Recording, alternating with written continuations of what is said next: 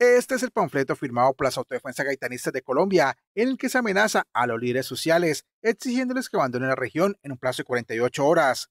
Su aparición obligó a un Consejo de Seguridad en Barranca Bermeja, en el que se anunció que se verificará su autenticidad. En cuanto a la apertura de la noticia criminal, a la designación de un fiscal especializado desde el orden nacional para atender precisamente esta noticia, este panfleto que está aún en proceso de verificación toda la importancia desde las diferentes organizaciones, apoyos de policía judicial, para determinar cuál es la autenticidad de este documento. En el comunicado aparecen nombres que corresponden a líderes sociales, concejales, diputados de Santander y miembros de organizaciones defensoras de derechos humanos. Son temas que se deben venir, que están por todo el país.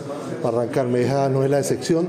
Nosotros como autoridades sencillamente con el compromiso directo del señor alcalde ha dispuesto que se realice una mesa de trabajo también con las autoridades y con las personas que están al interior de este documento para que podamos ahondar en las investigaciones y así determinar realmente las circunstancias sobre las cuales se presentaron este tipo de hechos que desde luego rechazamos de manera contundente. En Cúcuta también se ha generado la alerta en las autoridades tras la aparición de estos panfletos que fueron distribuidos en los barrios de la capital fronteriza en horas de la noche, como se aprecia en este video.